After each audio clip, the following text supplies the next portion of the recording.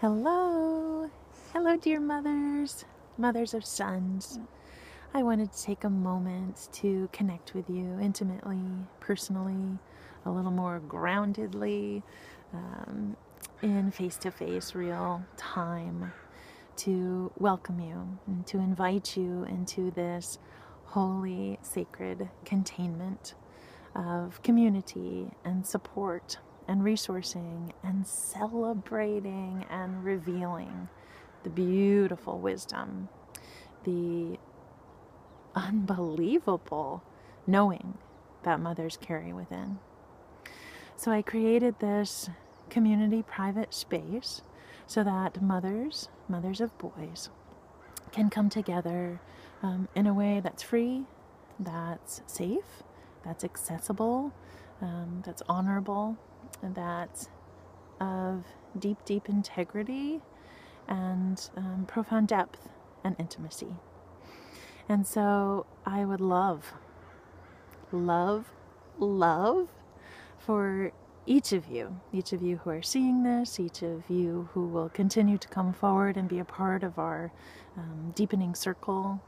to share about your journey with your boys and to share about this otherworldly commitment to transforming the way we relate to the masculine. And I've been on this path of the mother of sons path, certainly for as many years as I've been mothering boys, but um, this incredible uh, calling to really serve mothers of sons in a way that I, I wasn't quite expecting. I never intended to become a mother, for starters, but most definitely not a mother to boys, and I have three boys. And I am in partnership, married to a man who is the youngest of five boys. So, did I ever call this one in? And so, out of that, um, both heart wrenching and devoted commitment, I wanted to hold hands with other mothers, other mothers of, of boys who feel, you know, both incredibly aware that there's something so um, oh, mystical, empowering,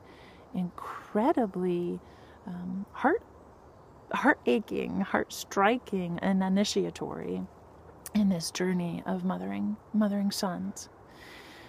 And so I've been blessed to walk very closely and intimately, intimately with women who are on this path and wanting to and are um, transforming the way that they are relating to their own inner masculine and to the wounds that we all have experienced at different layers and levels in our own upbringing and lives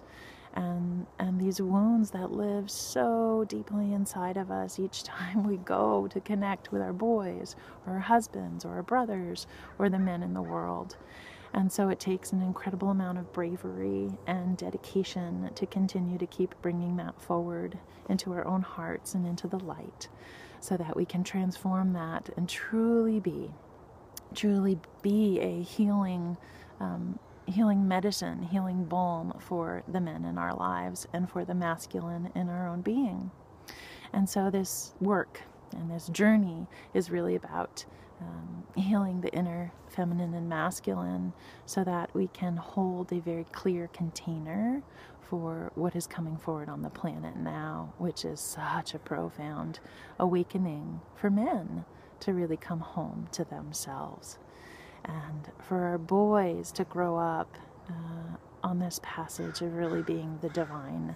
divine reflection of the masculine that they truly can be, and being in touch with their own internal relationship with the feminine so that they can greet women and their own partners, girlfriends, um, mothers, us, and their wise elders in a very loving and beautiful and healthy uh, interrelational way that we all have the capacity to. So I want to beckon you here. I want to beckon you into this space to share, to ask questions, to know at the deepest level that we are not here to follow anyone else's um, lead We're here to be the leader of ourselves and to dig so deep so that we can come to a profound self awareness of where wounds are playing out and where our magic is beckoning to come forward and, and, and lead the way and heal our families and our commitment to our children, to our boys, to our partners, and to our own way of showing up in the world with our gifts, um, with our healthy financial uh, well being, uh, and with the mission, you know, the mission that each of us are here to spearhead and shine so softly, so elegantly, and so powerfully a light upon for others to um, transform and heal within their own right. So please join me here. Please join me vulnerably. Please share your story. Please come forward and offer little snippets, you know, really both funny, deep, heart wrenching, and vulnerable um, stories from your own path with your boys, however old they may be. They may be babes, they may be in your womb, they may be having yet to even seed inside of your, your life and your body. They may be grown, they may be adults or fathers of their own. And maybe you don't have children, maybe you don't have boys, but you deeply relate to this journey of healing, how we as women and mothers are relating to the masculine.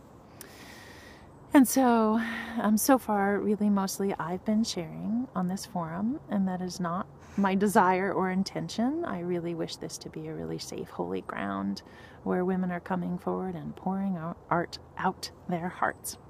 and being received uh, very sacredly and reverently in profound sisterhood.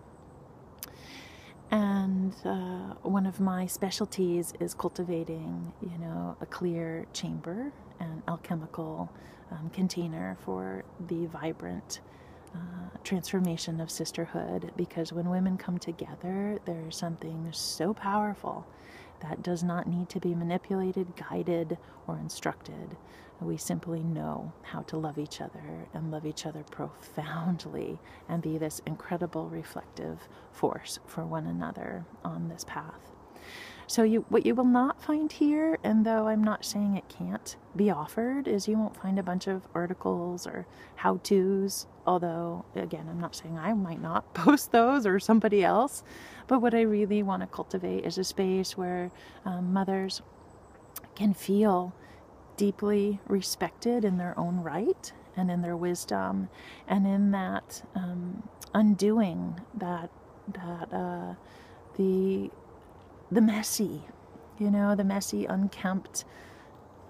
raw, vulnerable parts of our stories with ourselves as mothers and with our boys, with our husbands, with the men of the world,